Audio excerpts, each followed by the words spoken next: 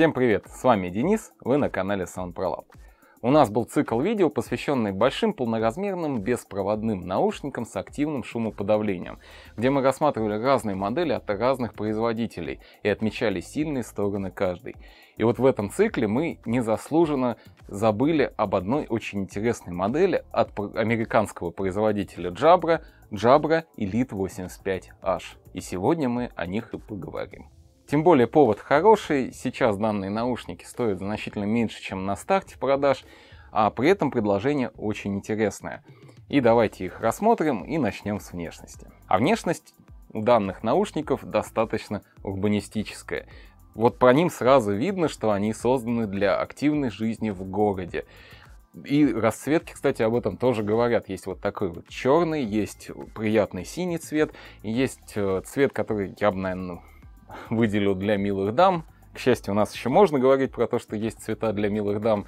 А, вот он бежевого такого телесного цвета, очень красивый. Вот э, по эргономике. Данные наушники достаточно большие, но стоит отметить, что достаточно компактные. У них хорошее оголовье с мягкими материалами, сверху у них такой вот матерчатый материал, что отсылает нас к наушникам от компании Bowers Wilkins. Очень похоже. Кстати, на чашках тоже очень похоже сделано. Хотя форма они, конечно, совершенно другой. А, внутри здесь мягкая из кожзама а, вставка. И сидят наушники на голове хорошо. Они не сильно давят, они, конечно, не настолько удобные, как Bose 700, но при этом я бы отметил, что в принципе на голове они сидят хорошо, ухо они полностью закрывают, и в них можно ходить долго, что я и делал, и совершенно от них не устаешь. Что, кстати, касается эргономики, Э, Джабры подумали о том, что люди наушники носят иногда на шее. И чаще всего удобно сделать это таким образом.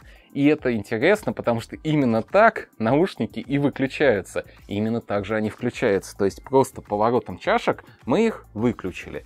Повернули чашки сюда, мы их включили. И они автоматически сопрягаются с телефоном. И это действительно удобно, и когда они на шее и вам не нужны, они, во-первых, не тратят батарейку, хотя с автономной работой здесь все хорошо, а во-вторых, защищены от внешней среды и от капель, допустим, от снега или от дождя. Еще по удобству. Давайте обратим внимание на амбушюры. Они мягкие, спенные, э, с эффектом памяти и достаточно глубокие, то есть они не давят на ухо, и это очень хорошо. При этом они овальной формы, и ухо, даже вот мои лопухи, помещаются туда полностью. Поэтому подобрать э, положение на голове легко, потому что оголовье, оно, в принципе, достаточно широкого хода, и оно, там нет щелчков, но оно хорошо держится в любом положении, которым мы хотим. Оно фиксируется. Также насчет удобства, наушники складываются, что тоже большой плюс. Ну а когда мы их выключили вот таким вот образом, а, мы их сложили, они очень хорошо и удобно помещаются в кейс, который идет сразу в комплекте. Спасибо, не забыли о том, что люди носят такие наушники часто в сумках и портфелях, и чтобы их не повредить, плотный твердый кейс всегда идет в плюс. В этом же кейсе, собственно, сразу идут кабели для подключения USB на USB Type-C и мини-джек 3,5 на 3,5.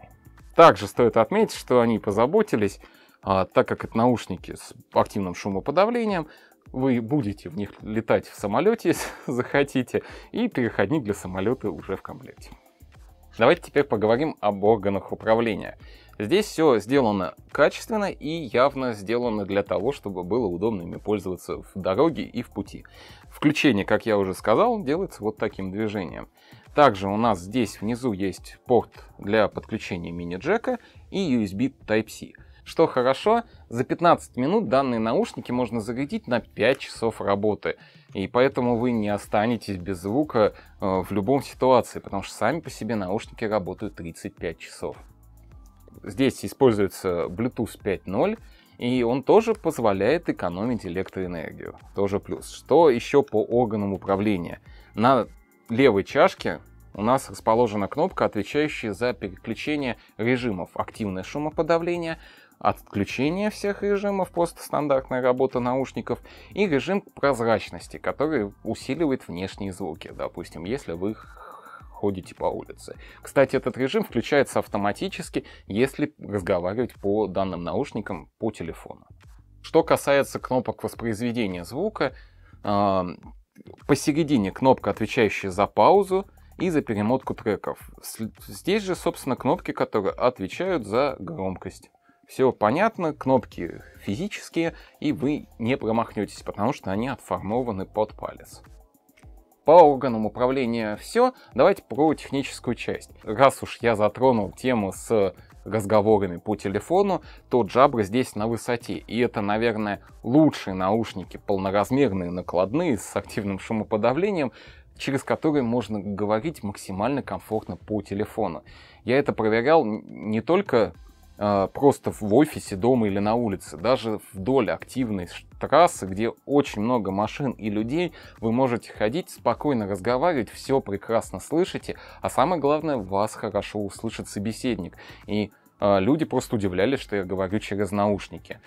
Потому что здесь 8 микрофонов, они улавливают внешние звуки, все их обрезают. Собеседник слышит только ваш голос, а вы слышите только собеседника. Ну, или вы еще можете услышать машины и ближайших людей, потому что режим прозрачности включается для вашей безопасности.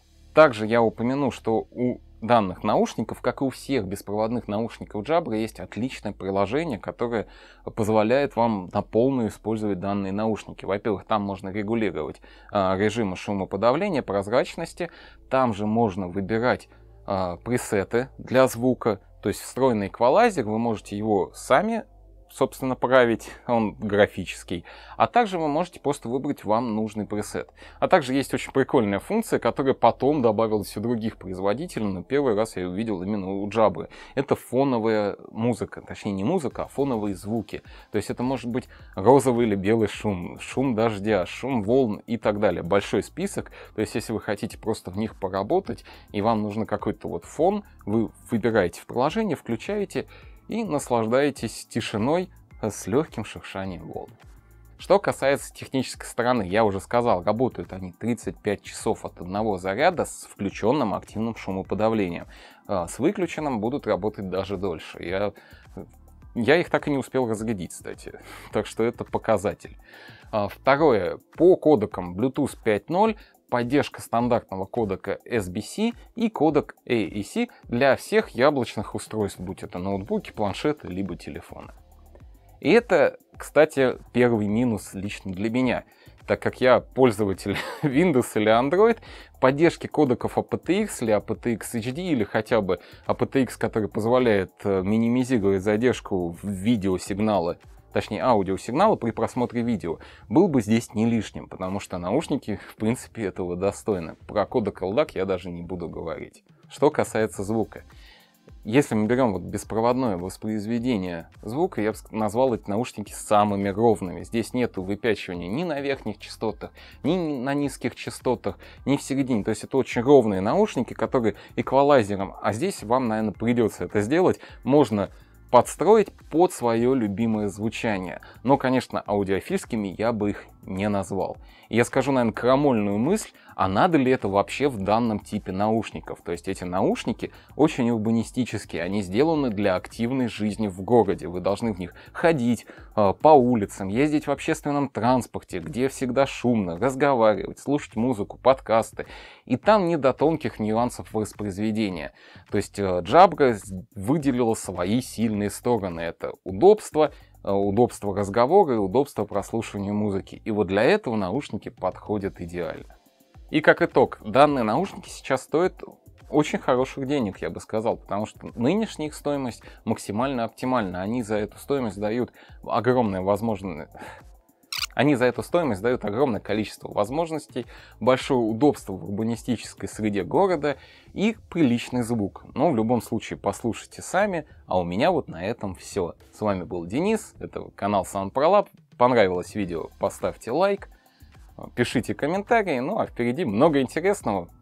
Всем пока!